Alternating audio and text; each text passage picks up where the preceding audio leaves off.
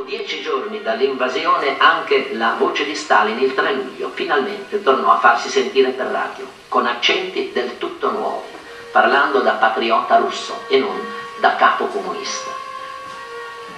Un discorso per radio, non con immagine di Stalin, che fece un'impressione immensa e contribuì a rianimare i russi.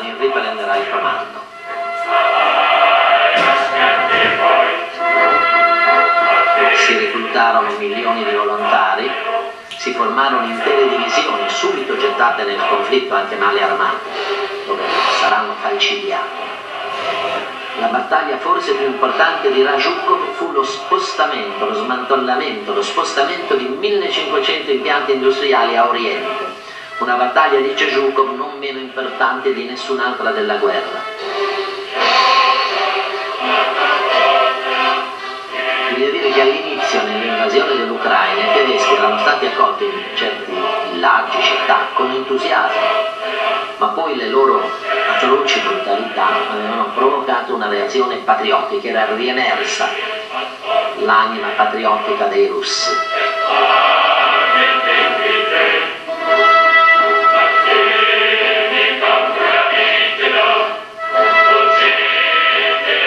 ritirandosi si bruciavano le,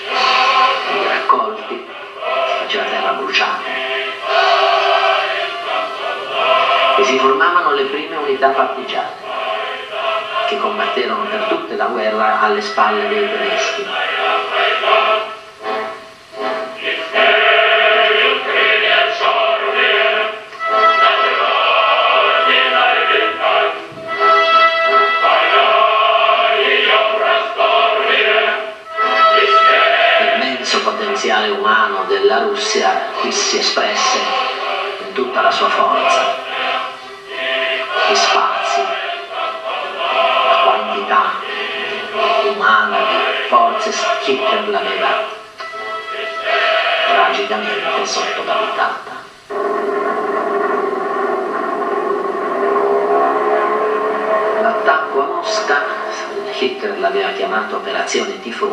Lanciato il 6 settembre del 41 e Hitler gettò nell'attacco i due terzi delle sue forze corazzate, dicendo che questa sarebbe stata la battaglia decisiva della guerra. E avrà ragione, anche se andò non come lui pensava.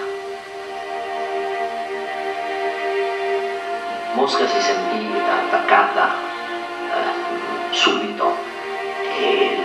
L'avanzata tedesca, come sa chi ha visto a Mosca gli sbarramenti anticarro che rimangono tra l'aeroporto e la città, sa che i tedeschi arrivavano alla periferia della capitale.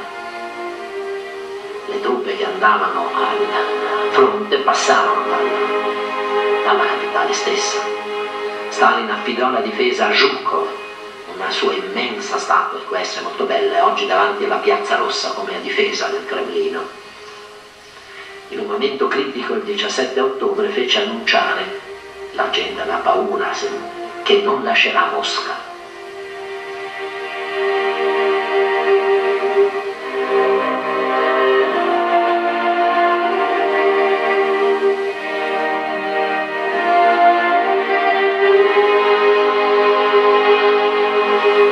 Mosca fu salvata dall'arrivo delle unità siberiane. Stalin teme fine ottobre che Mosca cadrà, ma Zhukov lo rassicura e si arriva a due giornate straordinarie, il 6 e il 7 novembre del 41. un inverno precoce, estremamente rigido, costerà la vita a molti civili, ma aiuterà a salvare la Russia. Si decide di fare ugualmente le celebrazioni del 7 novembre. Invece che al Bolshoi, al primo discorso del 6, Stalin lo pronuncia dalla metropolitana alla stazione Mayakovsky, quello del 7, la parata militare, avviene invece nella Piazza Rossa, come sempre. Zhukov, il maresciallo Zhukov, che poi emerge come il grande trionfatore, il grande eroe della guerra, aveva assicurato a Stalin che poteva fare la parata con i tedeschi alle porte della capitale.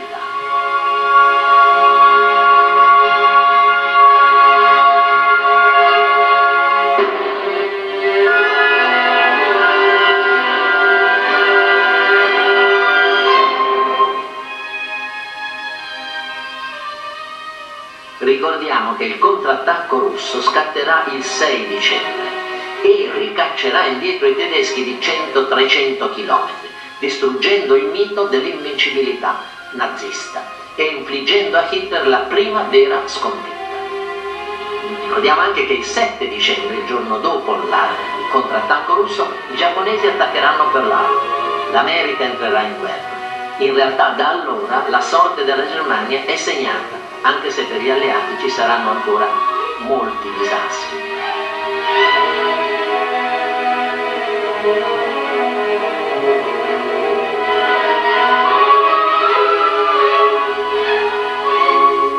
Di nuovo nei discorsi del 6 e del 7 novembre Stalin farà un fortissimo appello al nazionalismo e all'orgoglio nazionale, ricordando tutti gli eroi, gli artisti, gli scienziati della storia zarista e giurando che la Germania sarà sconfitta. Sentiamo un brano del discorso alla Piazza Rossa.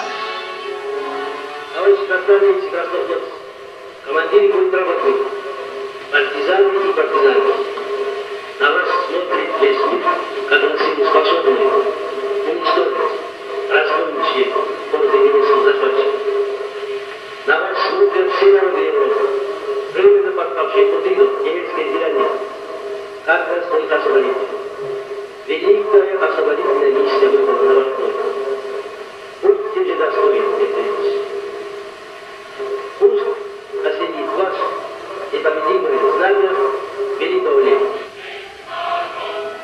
in realtà, come prova un curioso filmato che ora non siamo, come in realtà si capisce anche dal trono stranamente passivo della voce di Stalin, queste le immagini di Stalin che parla non furono girate alla Piazza Rossa, furono girate queste immagini, ma la decisione di tenere la parata era stata così improvvisa che i cameraman arrivarono in tempo per la parata, ma non per il discorso di Stalin, che dovette quindi ripeterlo, un po' infastidito, in cima a un finto mausoleo ricostruito dentro al Cremlino.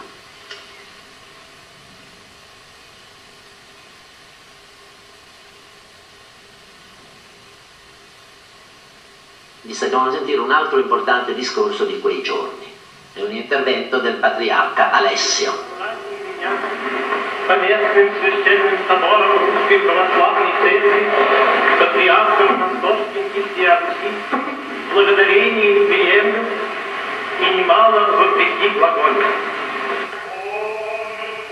La Chiesa mobilita la Russia dei credenti contro l'aggressione.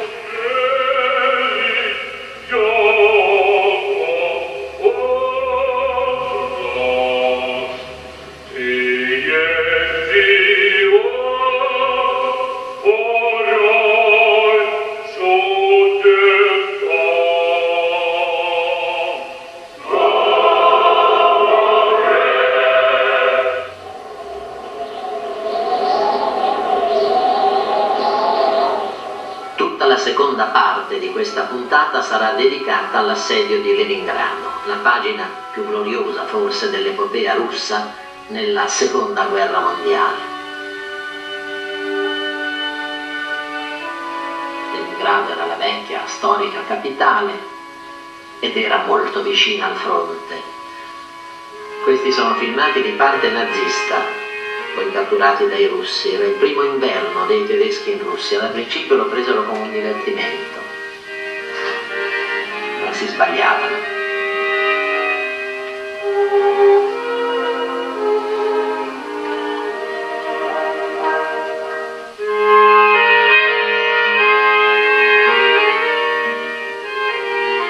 Sempre filmati nazisti.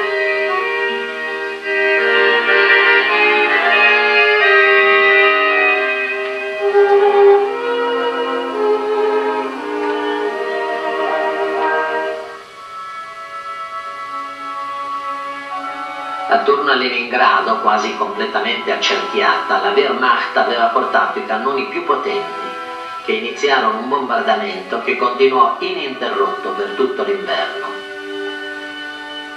Un inverno rigidissimo che era arrivato molto presto, l'acquedotto gelò, bisognava prendere l'acqua dalle neva o dai canali che solcano tutta Leningrado.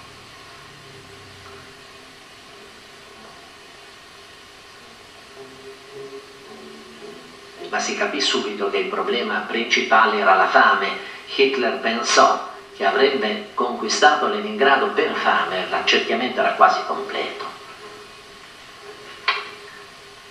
E in realtà in questa battaglia si dimostrò tutto l'eroismo, il patriottismo del popolo russo, che ne era rimasto una caratteristica costante.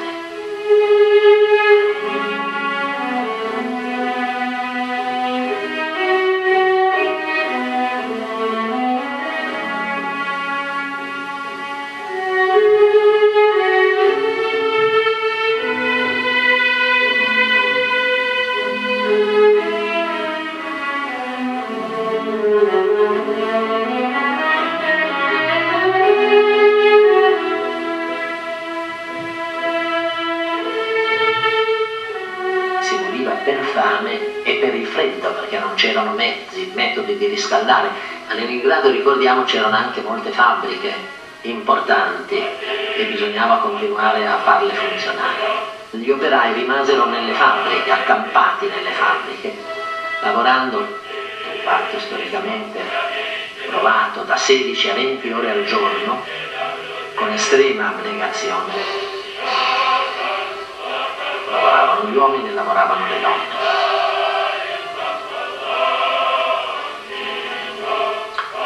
Operai si rifiutavano di lasciare il posto di lavoro.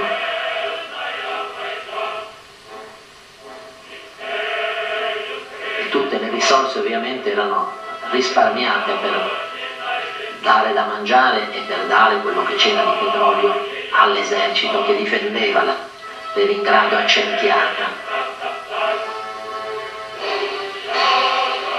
Si continuò a lavorare per la produzione bellica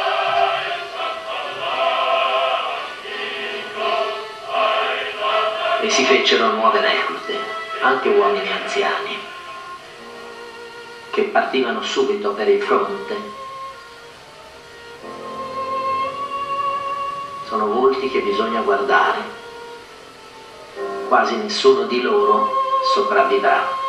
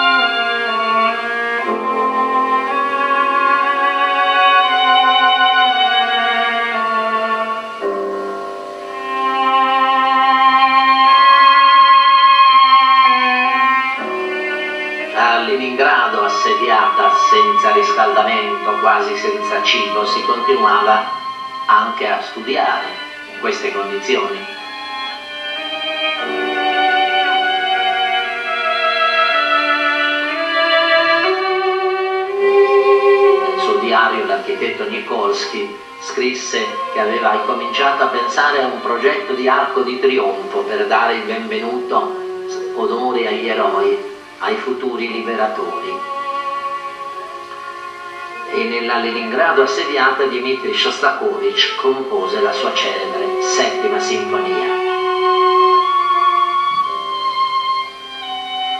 venne eseguita per la prima volta durante l'assedio, diretta dal maestro Ilya Esberg. I musicisti vennero richiamati dal fronte. E c'è un episodio singolare che testimoniano le nostre immagini. Quasi 25 anni dopo la stessa orchestra eseguì la stessa sinfonia famosa. Sul palcoscenico all'inizio sedevano i musicisti rimasti in vita e in sala i superstiti. Guardate perché sono soltanto donne. Superstiti degli spettatori che allora l'avevano ascoltata per la prima volta.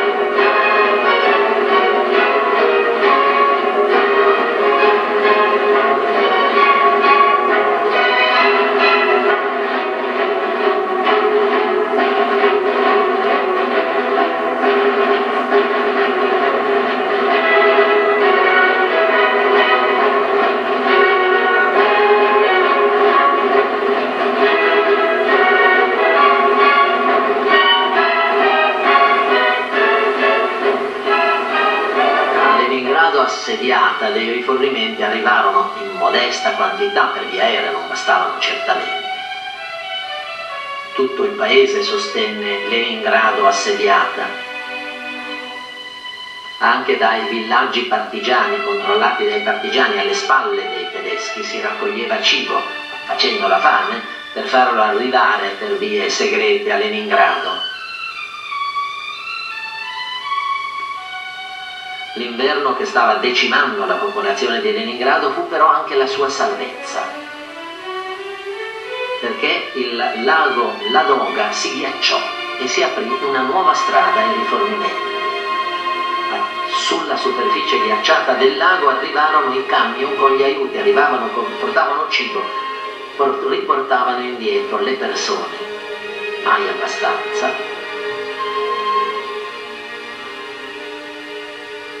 Fu chiamata la via della vita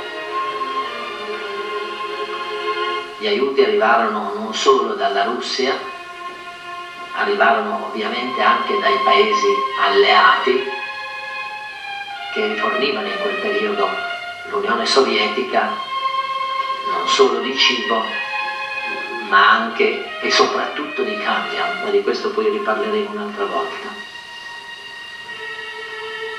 Leningrado però eh, non, non bastarono gli aiuti, non potevano bastare. All'inizio c'erano due milioni e mezzo di persone, anche di più, più c'erano le forze militari, c'era la flotta che era rimasta bloccata. Sotto l'acqua per portare rifornimenti fu fatto passare un oleodotto. Queste sono immagini del Natale, Natale Capodanno del 41-42. Per Natale, anche se in un rifugio aereo, si organizzavano, si organizzò una festa per bambini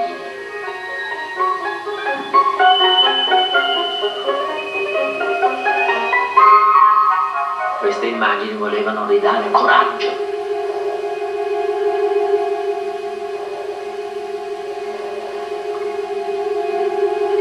I bambini furono tra le principali vittime dell'assedio, della fame e dei bombardamenti.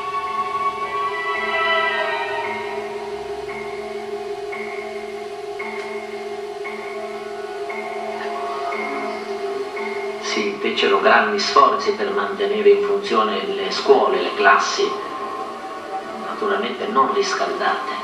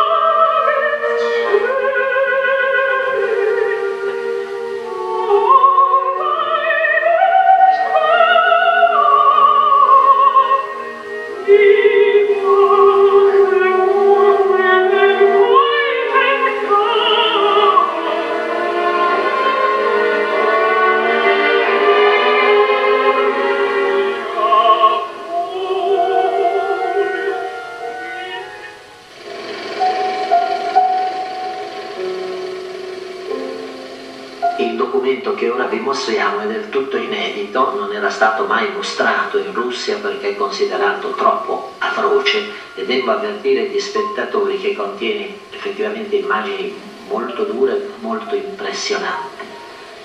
Penso che non richieda molti commenti.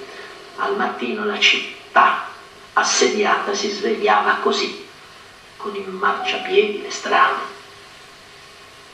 seminati di cadaveri.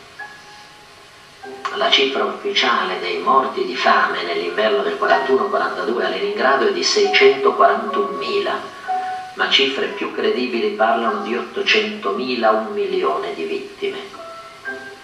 In alcuni momenti era rimasto cibo per appena uno o due giorni e il solo cibo distribuito era una razione di pane fatto di poca farina e cellulosa, di 125 grammi per i civili e 250 per gli operai una abissale tragedia.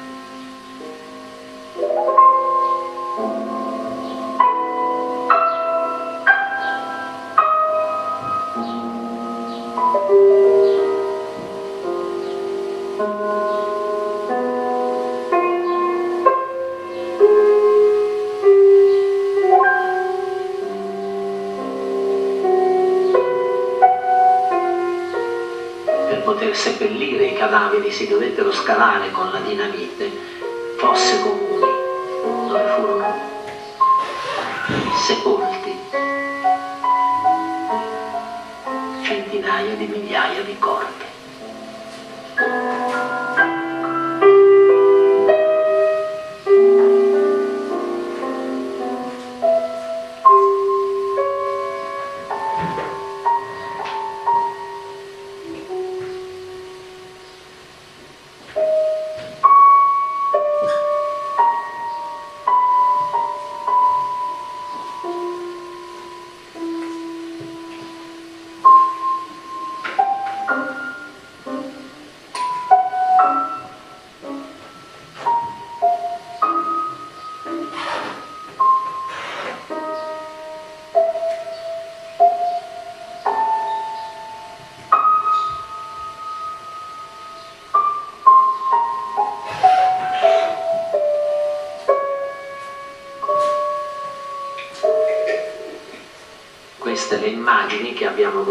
Lasciare intatte di quello che fu il martirio e la gloria di Leningrado.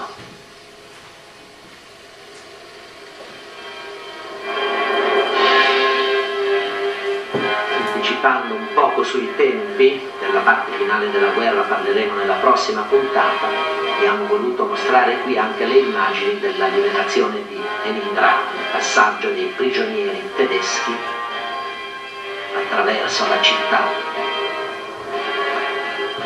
L'assedio era stato definitivamente spezzato solo dopo 900 giorni, nel gennaio del 1943.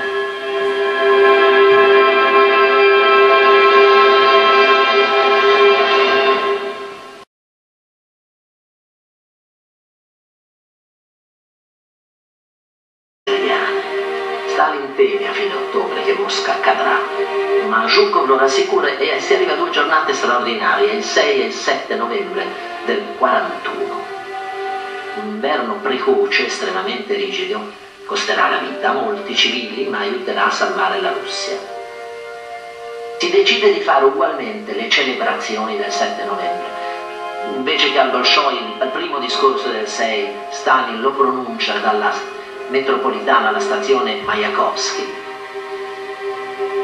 Quello del 7, la parata militare, avviene invece nella Piazza Rossa, come sempre. Zhukov, il maresciallo Zhukov, che poi emerge come il grande trionfatore, il grande eroe della guerra, aveva assicurato a Stalin che poteva fare la parata con i tedeschi alle porte della capitale.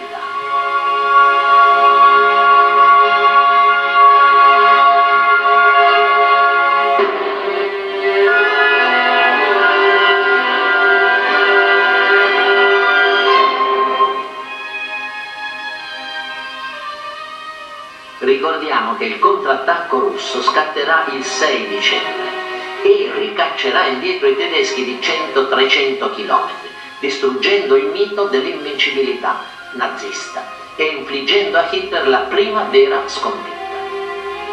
Ricordiamo anche che il 7 dicembre, il giorno dopo il contrattacco russo, i giapponesi attaccheranno Pearl Harbor, l'America entrerà in guerra.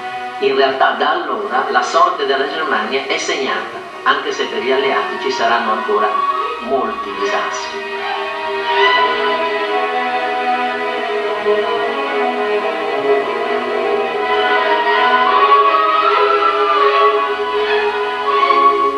Di nuovo nei discorsi del 6 e del 7 novembre Stalin farà un fortissimo appello al nazionalismo e all'orgoglio nazionale, ricordando tutti gli eroi, gli artisti, gli scienziati della storia zarista e giurando che la Germania sarà sconfitta. Sentiamo un brano del discorso alla Piazza Rossa.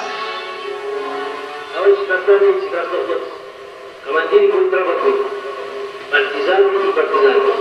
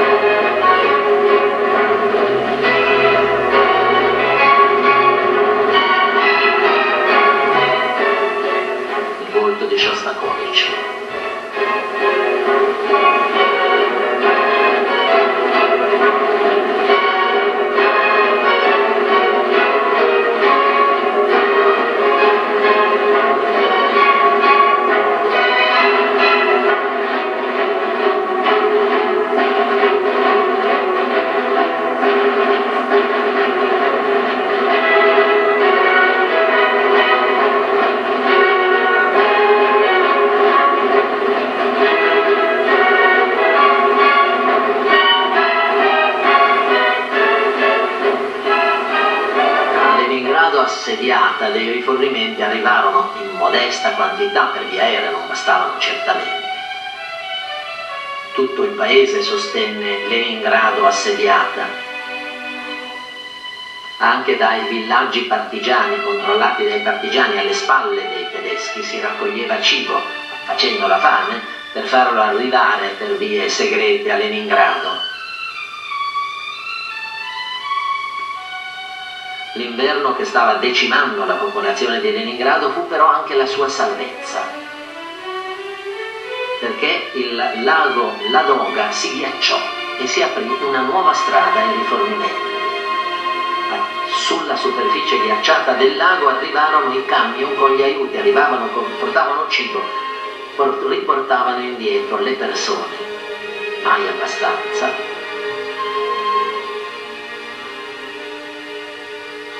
chiamata la via della vita.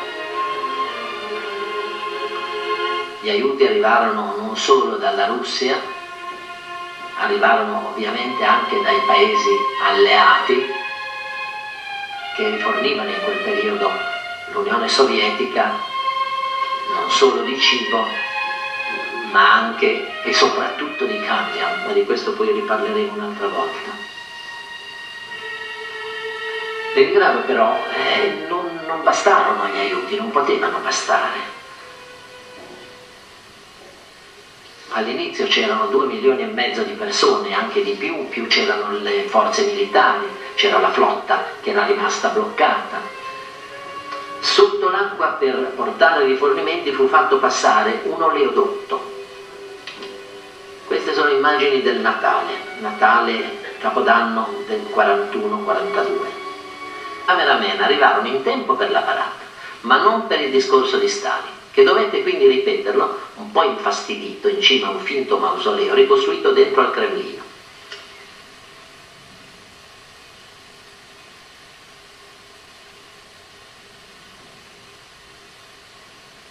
Vi stiamo sentire un altro importante discorso di quei giorni.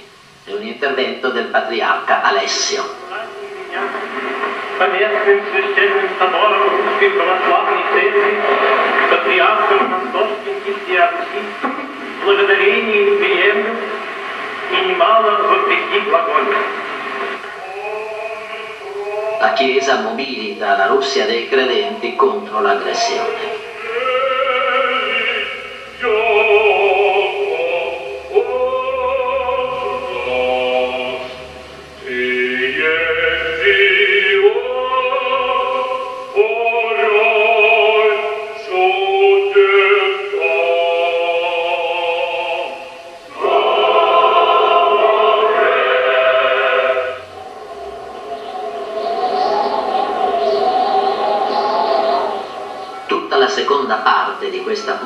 Sarà dedicata all'assedio di Leningrado, la pagina più gloriosa forse dell'epopea russa nella seconda guerra mondiale. Leningrado era la vecchia storica capitale ed era molto vicina al fronte. Questi sono filmati di parte nazista, poi catturati dai russi. Era il primo inverno dei tedeschi in Russia. Da principio lo presero come un divertimento si sbagliavano.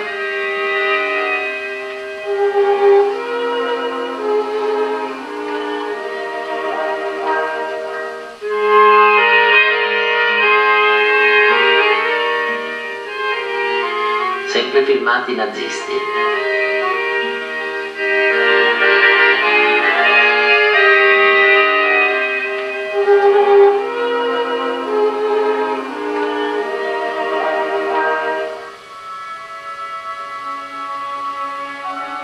Attorno a Leningrado, quasi completamente accerchiata, la Wehrmacht aveva portato i cannoni più potenti, che iniziarono un bombardamento che continuò ininterrotto per tutto l'inverno.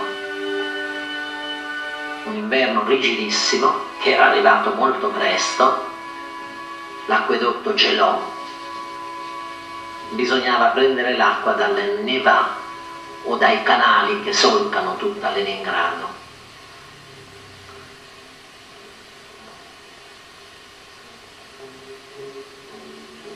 Ma si capì subito che il problema aprì dell'assedio, della fame e dei bombardamenti.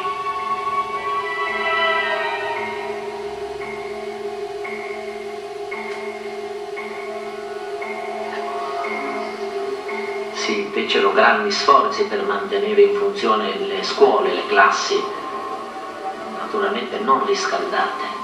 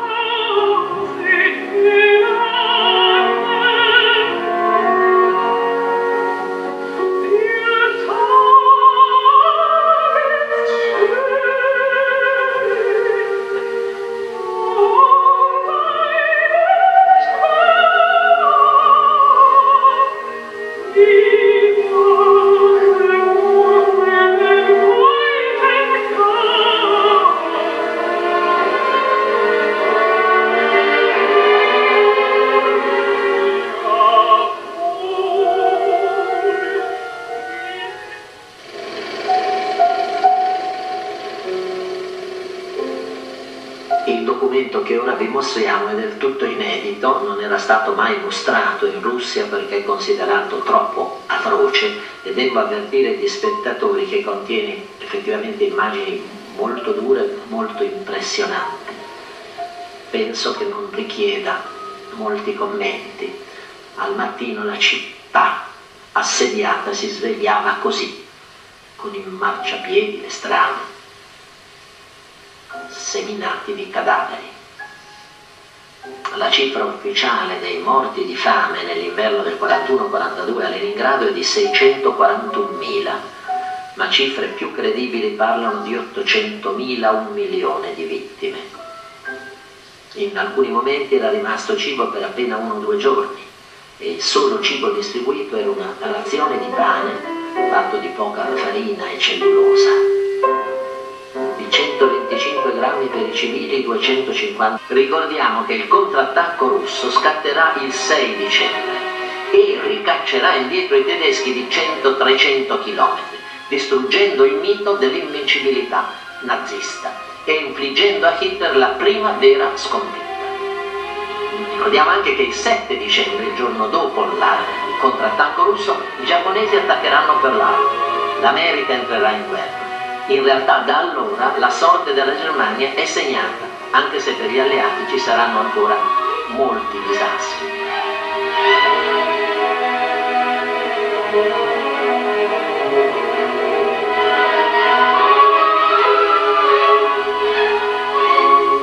Di nuovo nei discorsi del 6 e del 7 novembre Stalin farà un fortissimo appello al nazionalismo e all'orgoglio nazionale, ricordando tutti gli eroi, gli artisti, gli scienziati della storia zarista e giurando che la Germania sarà sconfitta. Sentiamo un brano del discorso alla Piazza Rossa. Красавицы, красавицы, командиры контрабатных, партизаны и партизаны. На вас смотрит весь мир, как на силу способную уничтожить, разгончие города немецких захватчиков. Народ служит сильным верой. Временно подпавший путину немецкое деяние. Как нас только освободить? Великое освободительное миссия выбора на Востоке. Будьте же достойны этой Пусть осенит вас знамя великого лета. Impressed con curioso filmato che ora vi mostriamo, e come in realtà si capisce anche dal tono stranamente ehm, passivo della voce di Stalin, queste le immagini di Stalin che parla non furono girate alla Piazza Rossa, furono girate queste immagini, ma la decisione di tenere la parata era stata così improvvisa che i cameraman arrivarono in tempo per la parata, ma non per il discorso di Stalin, che dovette quindi ripeterlo un po' infastidito in cima a un finto mausoleo ricostruito dentro al Cremlino.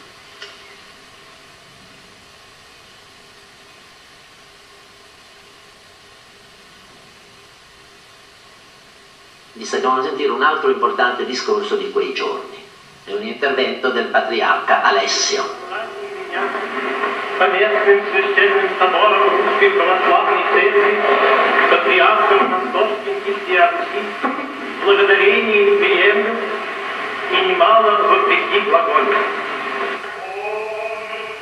La Chiesa mobilita la Russia dei credenti contro l'aggressione. Yo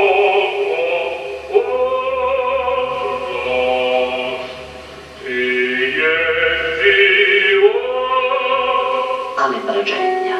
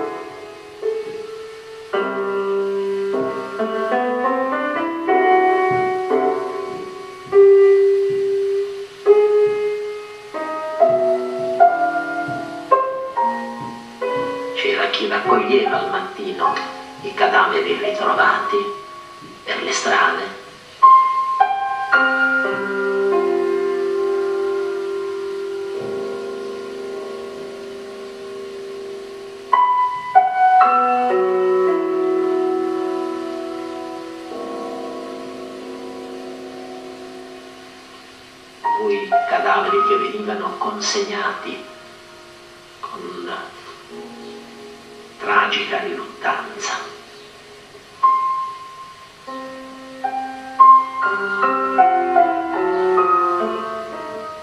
Il terreno, ricordiamo, era totalmente ghiacciato, anche se vedere i morti non era facile.